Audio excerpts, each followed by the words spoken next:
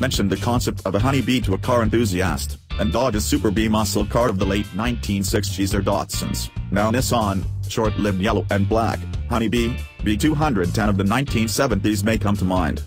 These days, though, Ford's taking a more utilitarian, and less colorful, approach to the buzzy idea. In this case, it's all about keeping the storage area of its EcoSport compact SUV as light and strong as possible.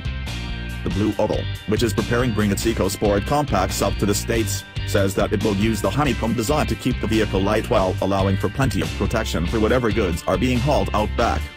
Specifically, the EcoSport will have an approximately 3 foot by 2 foot rear shelf that can be placed in one of four positions and will weigh all of 6 pounds while supporting almost 700 pounds of weight without cracking.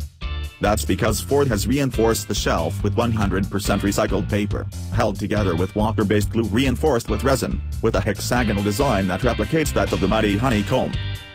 Ford, whose EcoSport is its best-selling compact SUV overseas, unveiled a concept version of the US-bound version at the Los Angeles Auto Show last November.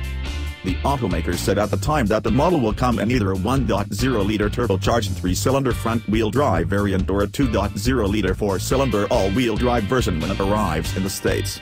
The EcoSport will also come in four trims, though we don't believe any of them will be yellow and black. We can always dream.